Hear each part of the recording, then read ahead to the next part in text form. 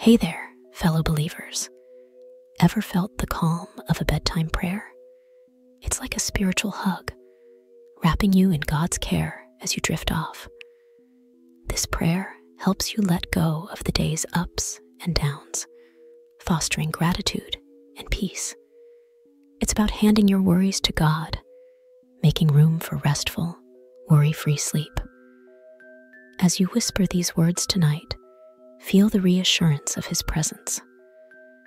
It's your nightly reminder you're not alone. Ready? Let's pray.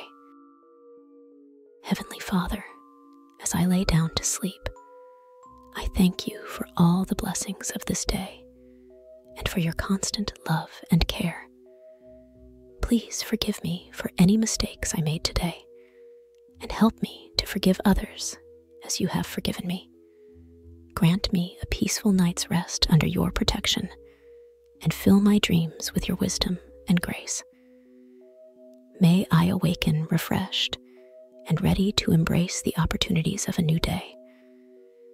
Guide me always in your ways so that each day I grow closer to you.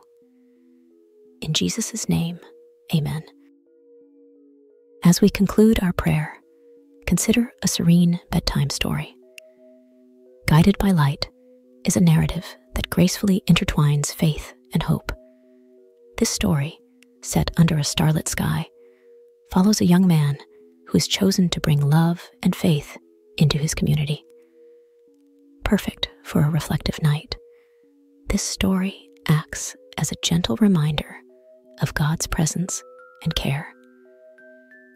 Let it be your tranquil end to the day, leading you into a restful sleep. Good night, and may your dreams be blessed with His grace.